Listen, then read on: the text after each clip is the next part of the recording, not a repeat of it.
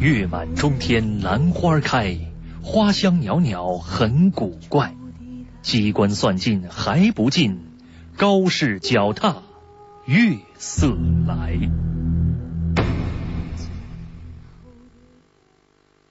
苦行僧对狼来哥哥说：“你应该认得这张图，我想你一定认得这张图。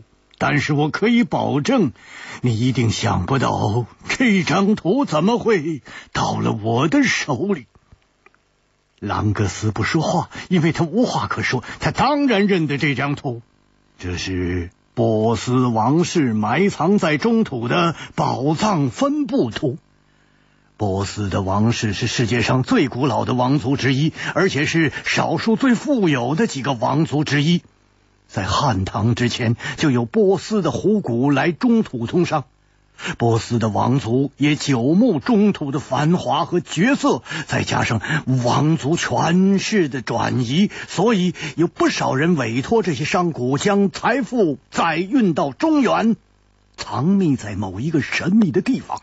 这些财富当然是一笔很大的数目，但是这些财富的主人都享用不到了。一个有财产需要秘密藏匿的人，通常都是活不长久的，而且往往会很秘密的死。替他们埋藏这些财富的人，死得更早。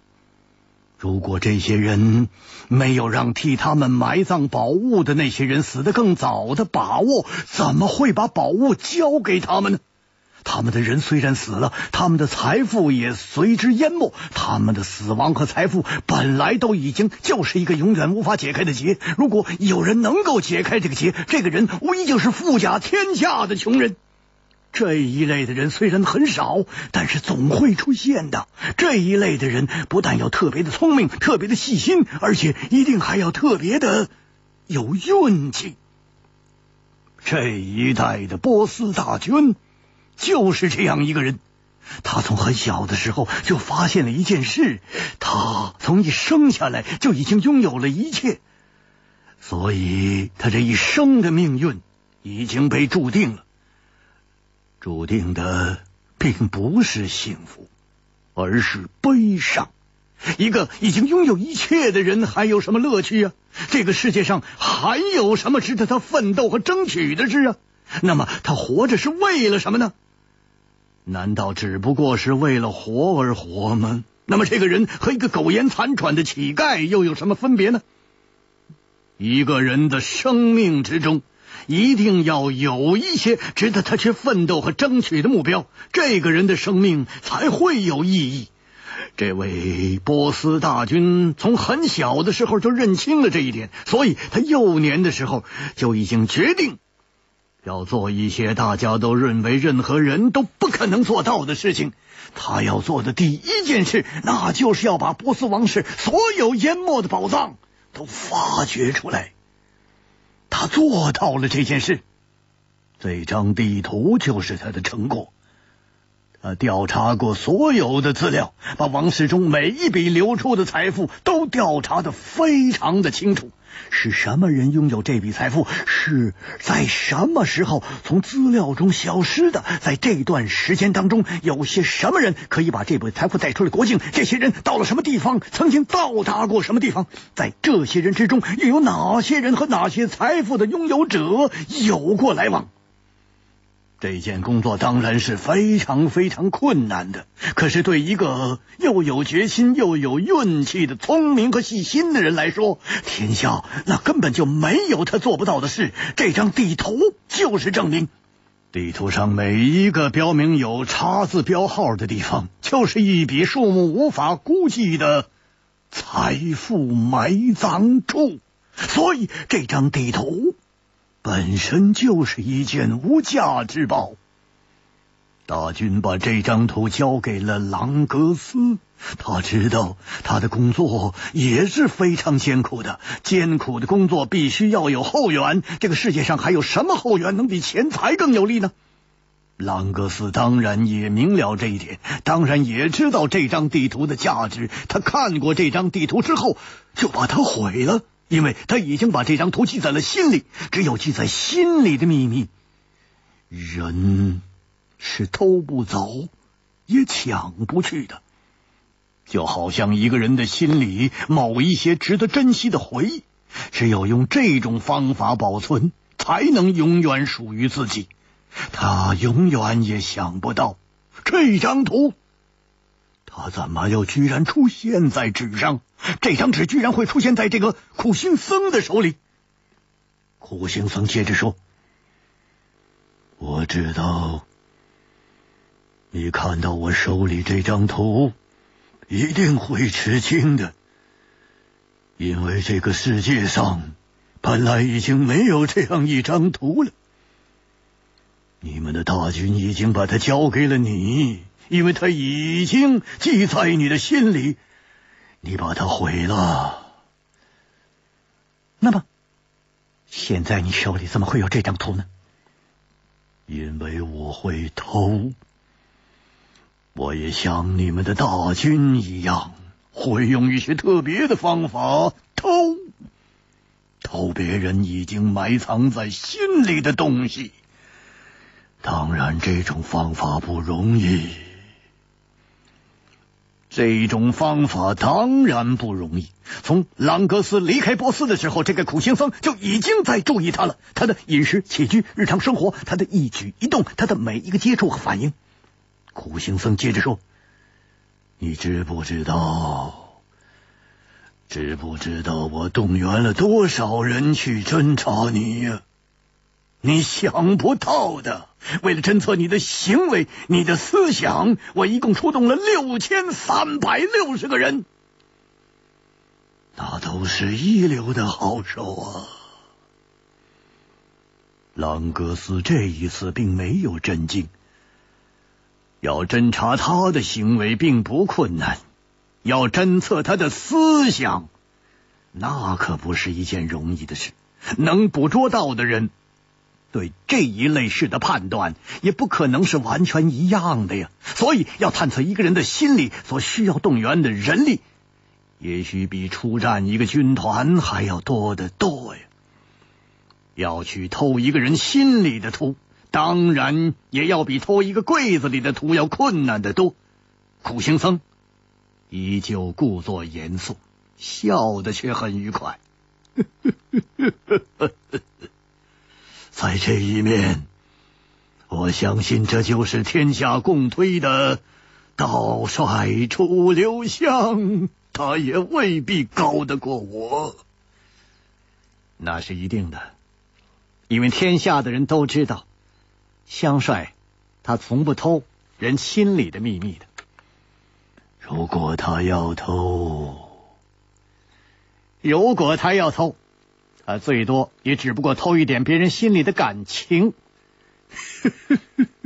是的。我是个江湖人，而且我亲眼古往今来所有江湖的历史，甚至远在百年前的名侠都不例外。可是我也承认，在这一方面，楚留香是没有人能比得上的。是啊，楚留香从不杀人，他总认为。一个人无论在任何情况下，不管犯了多大的错误，都应该先受到法律的制裁，才可以确定他的罪行。确定他的罪行之后，才可以制定对他的惩罚。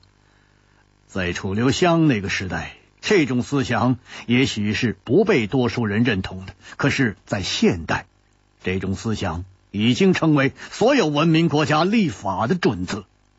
朗格斯接着说。既然你也认为楚留香是个很了不起的人，那你为什么一定要他死？苦行僧拒绝回答这个问题，可是他的眼睛已经替他回答了。就在这一瞬间，他的眼睛里忽然出现了说不出的怨毒和仇恨。朗格斯在心里叹了一口气，再问第二个问题：你怎么知道大军？把这张图交给了我。这次苦行僧虽然回答了他的问题，却等于没有回答。他说：“每个人做事都有他自己的方法，这种方法通常都是不能告诉别人的。我也不例外。不管我用的是什么方法，你还没有走出波斯的国境，我就已经对你非常非常的了解了。所以，所以你早就盯上了我。不是我盯上了你，而是你来盯上了我。什么意思？我当然先要想法子让你知道，我现在正在进行这个计划啊，是可以跟你要做的事完全配合的啊。所以你相信？所以你相信我一到这里来就一定会来找你的，不管要用什么手段。都在所不惜的是吗？是，你一定会这么做的，因为，因为你不惜用一切手段，也要得到我这张头。是，我不但要利用你的财富来助我完成这个计划，我还要利用，利用你这个人。来替我除掉那个蜘蛛和个头小鬼。如果我亲自出手，别人也许就会认为我太过分了。他们本来都是他这次蜜月中的盟友的。如果亲手杀了他，非但不至，而且不急。这一次计划。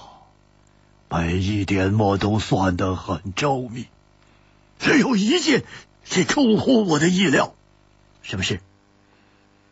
你为什么不杀那个小鬼呀？为什么？他刚才本来有很好的机会给你，你为什么不杀了他？是啊，在当时那一刹那，他的确随时都可以把这个割头小鬼绞杀于他那双长腿之下的。朗格斯说：“我确实可以杀了他。我本来也想杀了他，为什么不杀？因为我忽然下不了手了。为什么？就在这一瞬间，我忽然有了一种非常奇怪的感觉。就在朗格斯说这句话的时候，他的身体和脸上也出现了一种非常奇怪的表情，就好像一个怀春的少女，在一个温暖的仲夏之夜。”忽然触及了一只一只男人的手，一个他喜欢的男人的手。朗格斯说：“我忽然觉得，我忽然觉得非常非常的刺激。”他的声音变了，仿佛变成了一种春夜的梦呓。他用这种声音接着说：“就在这个小鬼。”爬到我身上的时候，我就忽然觉得全身上下都好像被塞入了一个大毛筒子。一个人有了这种感觉，怎么能够下手去杀人？古行僧的眼中第一次有了惊诧的神色。你说，你说什么？你说你有这种感觉的时候，那就是这个剃头小鬼爬到你的身上的时候。是这个小鬼能让你有这种感觉，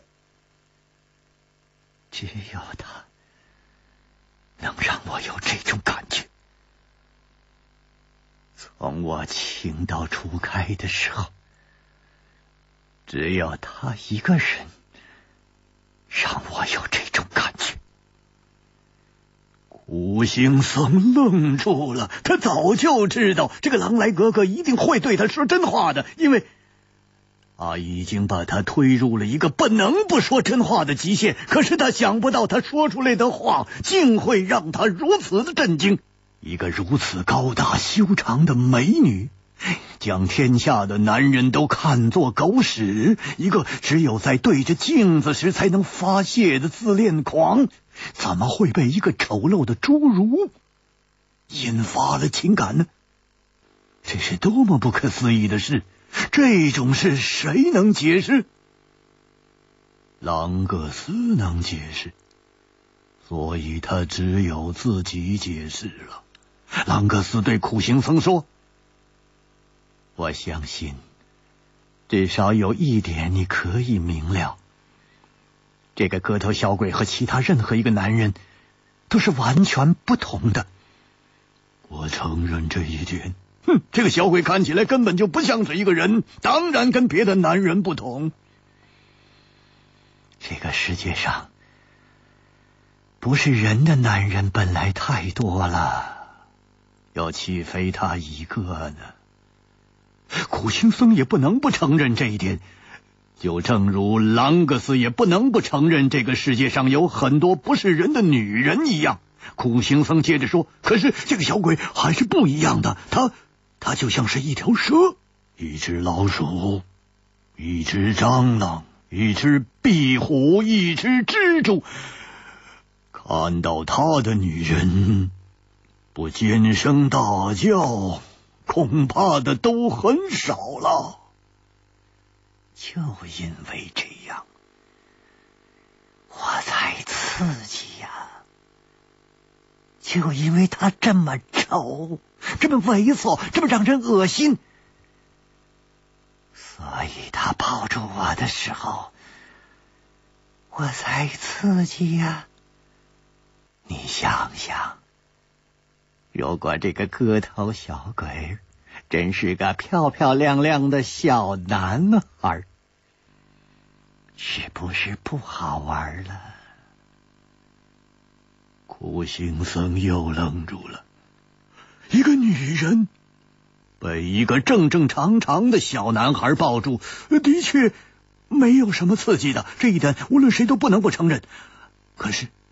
不正常，不正常本来是一种刺激啊，也就是人类天生的弱点之一。对一个本来就不正常的女人来说，这种刺激当然更难抵抗了。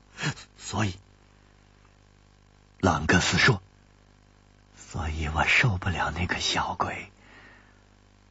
那个小鬼抱住他的时候，他的心里是什么感觉？肉体又是什么感觉？”这些话他本来是准备接着说下去的，可是他没有说下去，因为。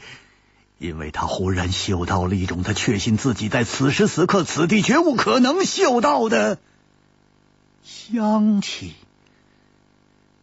他嗅到了一种兰花的香气。现在还是秋天，距离花开放的时候还早，在这么森阴的一间书屋里，怎么？能够闻到兰花的香气呢？